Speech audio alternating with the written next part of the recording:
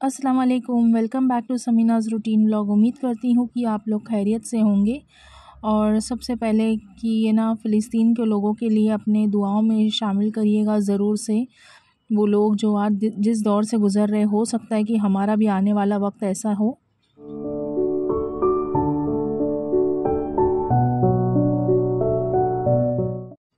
बिसमीम लॉग का स्टार्ट करती हूँ शाम से। और मैं जब मार्केट गई हुई थी तो मैं मार्केट से ये ले आई थी। इसे कहते हैं सिंगाड़ा। और ये ना कीचड़ में रहता है और इसे ना, वैसे तो ये पका हुआ भी मिलता है बट मैं कच्चा ले आई थी। और मैंने इसे अच्छे से वॉश करके ना, फिर मैंने इसे पैन में उबलने के लिए रख दिया था। बस ज़्यादा कुक नहीं करना। और ये देखिए कितना काला पानी निकल रहा है। ये बहुत ही ज़्यादा फ़ायदा करता है। अब ये ठंडी के वक्त तो है ना, लोगों को इसका इसे कंज्यूम करना चाहिए। ये रेयरली कोई कोई जगह पर मिलता होगा और कोई कोई जगह पे नहीं मिलता होगा, लेकिन अगर आपके एरिया में ये मिलता है तो ज़रूर से आप इसे कंज्यूम करिएगा। कुछ इस तरह से आपको नॉर्मल वाटर में उबालना है और देखना है, छुरी डालकर अगर ये छुरी इजीली अंदर जा रही है तो मतलब आपका सिंगाड़ा जो है अच्छी तरह से उबल गया है बॉईल हो गया है। अब मैं इसे पानी पूरा ड्रेन कर दूँगी। और इसे थोड़ा ठंडा होने दूँगी और उसके बाद इसे कंज्यूम करेंगे। तो बेसिकली ना, जो बॉडी बिल्डिंग वगैरह जो करते हैं ना, लड़के जो आजकल यंग जनरेशन को बॉडी बहुत जल्दी बनानी होती है तो प्रोटीन पाउडर वगैरह भी इसी से बनता है और इसको ना सुखा कर और उसका पाउडर बना लेते हैं और इसे ना दूध के साथ कंज्यूम करते हैं। इनफैक्ट इसका आटा भी बनता है तो इसकी आटे की तो मुझे रेसिपी कुछ याद नहीं है, लेकिन ये जो है ना, इसे हम बेसिकली ऐसे ही खा कंज्यूम कर सकते खा सकते हैं और बहुत ज़्यादा टेस्ट अलग होता है डिफरेंट होता है तो ज़रूर से ट्राई करिएगा अगर आपके एरिए में ये मिलता है। तो इसे सिंगाड़ा भी कहते हैं और क्या कहते हैं मुझे ज़रूर से कमेंट बॉक्स में बताइएगा। और देखती हूँ कि इसकी ये जो है ना अभी बच्चों को भी खिलाने की कोशिश करती हूँ, क्योंकि बच्चों को भी ये सब खाना बहुत ज़रूरी होता है। इसमें बहुत हाई हाई प्रोटीन होता है और ख़ास करके बच्चों के लिए और जो यंग बच्चे होते हैं ना, उनके लिए बहुत फ़ायदा करेगा। तो यूसुफ थोड़ा थोड़ा कोशिश कर रहा था खाने की और खा भी रहा था। वेरी फ़र्स्ट टाइम ये कंज्यूम कर रहा था तो उसे अच्छा लगा। खैर, यहाँ पर मैं ना हस्बैंड के साथ फिर से आ गई थी बाहर।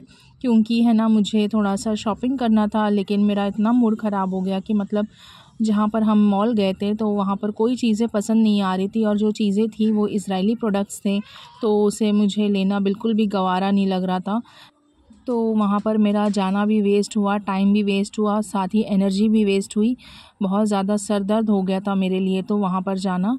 खैर, यहाँ पर मैं अपने शूज़ ट्राई कर रही थी। मुझे इस तरह से फैंसी शूज़ बहुत पसंद है, लेकिन हस्बैंड को पसंद नहीं आया तो फिर मैंने स्किप कर दी।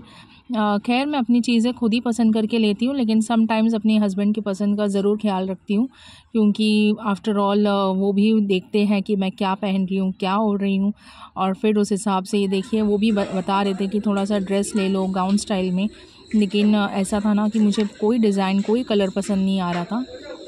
और यहाँ पर देखिए हुडीज़ भी आ गए थे। और बेसिकली ना मुझे हुडी पसंद है। सब कलर्स के बहुत अच्छे अच्छे कलर्स आए थे लेकिन है ना ऐसा था कि ये ना बच्चों को है ना यहाँ पर स्कूल में बिल्कुल भी अलाउड नहीं है और घर पे ऑलरेडी दो दो हुडीज़ पड़ी हुई है। तो मैंने नहीं ली।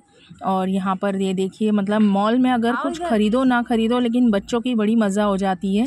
ये यूसुफ बहुत तंग कर रहा था मतलब वो एक जगह बैठ ही नहीं रहा था पूरा यहाँ से वहाँ पूरे मॉल में चक्कर लगा रहा था। क्या पहनी? क्या है? और यहाँ पर देखिए, ये चप्पल को देखकर मेरी इतनी हँसी छूटी थी कि मतलब आदमी कितना लेज़ी हो गया है यार। मतलब हद हो गई है। मतलब ग्रास लेकर घूमेगा, हालाँकि वो प्लास्टिक का था। और वहाँ से आने के बाद ना हस्बैंड ने ही खाना बनाए थे। जिस दिन उनकी छुट्टी होती है तो वो खाना बनाते हैं। और बेसिकली जो करी वगैरह होता है ना, वही प्रिपेयर करते हैं। तो दोपहर में कुछ करना थी, था नहीं और मैं सोच रही थी कुछ बची कुची सब्ज़ी है और जब मैं रात में जब करी बनी थी ना तो मैंने बनाई थी तंदूरी रोटी और उसका आटा थोड़ा सा मैंने रख दी थी। तो मैंने सोचा क्यों ना उसका मैं पिज़्ज़ा बना दूँ। तो जिसके लिए मैंने ले लिया है एक कांदा और मैं ना टमाटर को साइड साइड से सारे कटिंग करके निकालूँगी। उसके बीज का जो पोर्शन होता है ना, बीज वाला जो पोर्शन होता है, गूदा होता है, वो हमें बिल्कुल भी नहीं चाहिए। तो उसके लिए मैं एक शिमला मिर्ची ले लूँगी और यहाँ पर मैंने कांदे को आ, कांदा भी बहुत ज़्यादा महँगा हुआ है और ज़रूर से अगर आपको स्किप करना है तो आपकी मर्ज़ी आप स्किप कर लीजिए और कॉर्न वगैरह ऐड कर लीजिएगा। तो यहाँ पर मुझे तो कॉर्न नहीं पसंद है क्योंकि कॉर्न ज़रा मीठा मीठा लगता है। तो कांदे को मैंने स्लाइस कट कर लिया है सारी सब्ज़ियाँ भी मैंने स्लाइस कट कर दी हूँ। और ये देखिए मैंने अच्छे से है ना आटे को मैंने रख दिया था फ्रिज में कवर करके। तो ये जितना उठना था ना, ये उठ चुका है। अब मैं इसे थोड़ा सा ना, जैसे हम रोटी बेलते हैं ना, उस तरह से रोटी बेल लूँगी। थोड़ा सा मैं इसे ना, थोड़ा फ्लैटन कर दूँ, सारे एयर बबल्स इसके निकल जाएँ थोड़ा। तभी हमारा जो बेस है ना, बहुत अच्छा बनेगा। ये ऑलमोस्ट है ना, सारा जो पिज़्ज़ा डो होता है ना, उसी तरह से मैंने प्रिपेयर किया था। तो बस इसे मैं हल्का सा बेल लूँगी अब। और ये देखिए हाँ। अब जिस पे मुझे चढ़ाना है ना अब ओवन तो है नहीं तो इसका ये मतलब नहीं कि घर पे पिज़्ज़ा नहीं बनेगा तो मैंने एक बड़ा सा पैन ले लिया है। अब मैं इसे इसमें ट्रांसफ़र कर दूँगी। अच्छा नीचे हमें कुछ नहीं लगाना है कोई ज़रूरत नहीं कोई चीज़ की लग ज़रूरत नहीं है। यहाँ पर मैं फोक से जल्दी जल्दी से इसमें पोक कर दूँगी। बस ये फूगे नहीं ताकि हमारा जो बैटर है ना बहुत अच्छा सा मतलब क्रिस्पी और क्रंची हो जाए। इसीलिए पोक किया जाता है, वरना हमारा, अगर ये नहीं करेंगे ना तो ये फूल करे ना बलून जैसे बन जाएगा। अच्छा यहाँ पर है ना, मेरे घर पे जो है ना पिज़्ज़ा सॉस था नहीं तो मैंने क्या की केचप मैंने दो चम्मच भर के ले ली हूँ और उसमें मैंने चिली फ्लेक्स ऐड कर दी हूँ। बस इसे अच्छे से स्प्रेड कर देना। आज पूरी तरह से होम मेड यानी कि जो कुछ भी मैं यूज़ कर रही हूँ ना, सारे बचे कुछ सामान से मैं पिज़्ज़ा बना रही हूँ। तो अगर कोई सामान अगर नहीं अगर आपके पास है, जैसे कि पिज़्ज़ा सॉस अगर आपके पास है तो वो आप ऐड कर सकते हैं।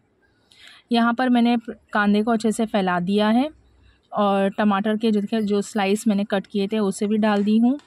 और बारीक बारीक कटी हुई गोल गोल प्यारी प्यारी सी शिमला मिर्ची भी डाल दी हूँ। देखिए कितना अच्छा कलर दिख रहा है। ये है औरिगैनो और इसे भी मैं स्प्रिंकल कर दूँगी। अब रह गया था चीज़ तो मेरे पास स्लाइस चीज़ थी। तो मैंने सोचा कि अभी मैं क्या करूँ? कि लाऊं मार्केट से नीचे से या फिर मैंने सोचा, नहीं, अब मैं जाऊँगी तो नहीं नीचे, अब मैं इसी से पिज़्ज़ा बनाऊँगी, जो है इससे ही बनाऊँगी। तो बस मैंने इसे खोल कर असम्बल कर दिया है। अगर मेरे चैनल पे आप नए हैं तो प्लीज़ मेरे चैनल पर मेरे चैनल को सब्सक्राइब करिएगा, ज़रूर से लाइक करिएगा।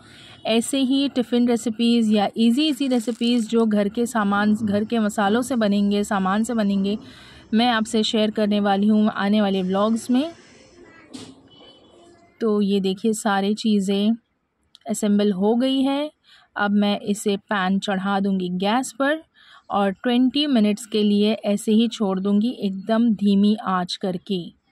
तो यहाँ पर मैंने इसे अब, मेरा जो बड़ा सा ढक्कन है ये पैन का तो इसे भी मैं ढक दूँगी और twenty twenty to twenty five minutes के बाद मैं इसे चेक करूँगी। तो ये ऑलमोस्ट डन हो गया है। साइड साइड से जो है ना, पिज़्ज़ा जो चीज़ थी ना, वो मेल्ट होके किनारे चली गई है। तो बड़ा अच्छा लग रहा था। ज़रूर से ट्राई करिएगा। बहुत सिंपल, बहुत इजी रेसिपी है। और ज़रूरी नहीं कि आपके पास है ना, चीज़ वाला ब्लॉग्स हो, क्यूब चीज़ हो, ये हो, वो हो, ऐसा नहीं है। आप घर के सामान से आपके पास जो भी भी चीज़ या वेजिटेबल्स पड़ी हुई है, उससे आप, अगर आपके पास वेजीज़ नहीं भी है तो आप प्लेन पिज़्ज़ा बना सकते हैं। बहुत ही यमी बनेगा ये देखिए। लुक देखिए कितना ब्यूटीफुल आया है। और मैं इसे अभी ना, आज है ना बच्चे तो है ना, नानी के यहाँ गए, मेरे को उनकी बहुत याद आ रही है। और मैं थोड़ा सा यहाँ पर सॉस जो है अपने लिए स्प्रेड कर दूँगी। और इसे बस फटाफट से कट करके हम गरम गरम खाएँगे, बड़ा मज़ा आएगा। तो आज का व्लॉग अगर आपको अच्छा लगा हो तो ज़रूर से सब्सक्राइब करिएगा और लाइक करिएगा और कमेंट करना ना भूलें। एटलीस्ट मुझे थोड़ा सा कमेंट कर दीजिएगा कि आप कहाँ से बोल रहे हैं या फिर आपको मेरा व्लॉग कैसा लग रहा है या फिर आपको कुछ चीज़ें नहीं अच्छी लग रही है तो बेझिझक होकर मुझे बताइएगा। तो मिलती हूँ मैं नेक्स्ट व्लॉग में। अपना ख्याल रखें, दुआओं में सभी को याद रखें। टिल देन के लिए, अल्लाह हाफिज़।